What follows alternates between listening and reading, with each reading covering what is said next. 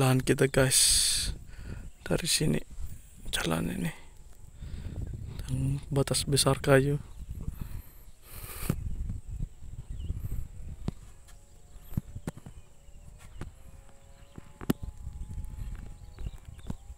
Batasnya jalan.